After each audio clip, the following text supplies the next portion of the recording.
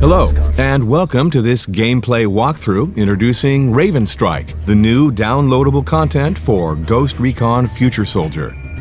Raven Strike's campaign is an extension of the Future Soldier timeline, taking place halfway through the Russian campaign, right after the Dagestan situation. Today, we'll be looking at the first mission, Operation Secure Dawn, a throwback to classic Ghost Recon gameplay. In the wake of the Russian coup, High Command is taking initiative to establish contact with the loyalist General Duca by mounting a rescue op on his second in command, General Kozlov. Kozlov's plane was shot down at the border of Kazakhstan.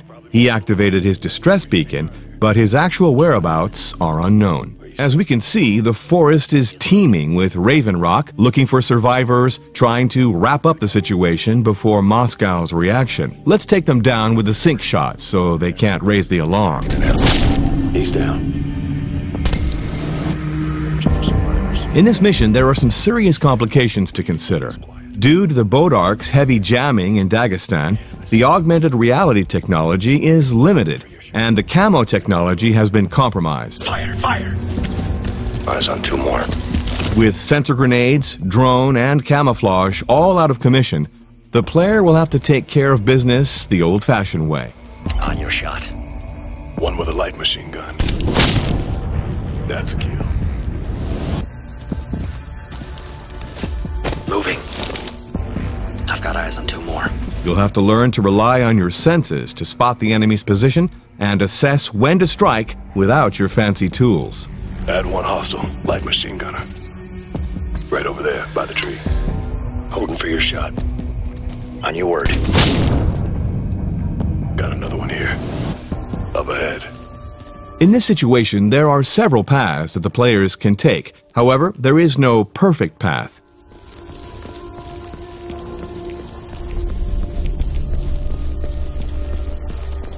Cabin up ahead, lots of hostiles. Might be a CP. It seems that Ravens Rock set up camp around this crash site, so the ghosts can expect a lot of resistance coming their way. In order to set up a 360 degree ambush, we encourage the players to disperse so that they can cover the situation from all angles. Ahead of us. The ghosts are deep into enemy territory now and are threatened by patrols in every direction. A stealthy, methodical approach is paramount to their survival and to the mission's success. As you may have noticed, the flashlight wielding soldiers are easier to find. Stationary targets, however, will take a keen eye to spot, like this scout sniper here. Something important here. Avoid contact. Let's get in close, see what we can find. The plane came down in three sections, and the ghosts will have to inspect each site for survivors and electronics. Now it's time to trigger the assault. The ghosts will have to strike fast if they hope to overpower the fire team guarding the plane wreck. Your enemies will use the vehicle's headlights to gain the upper hand and blind your squad, so make sure you take them out during the firefights.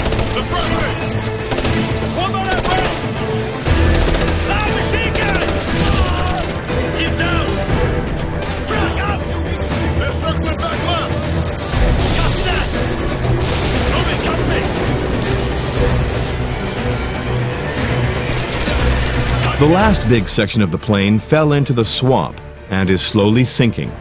Kozlov doesn't seem to be in this location either. The ghosts will have to work their way through the swamp deeper into Raven Rock territory.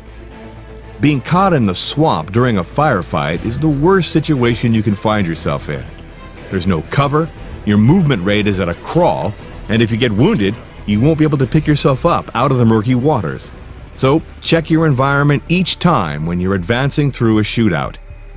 The eye in the sky notifies the team of increased movement in a nearby village.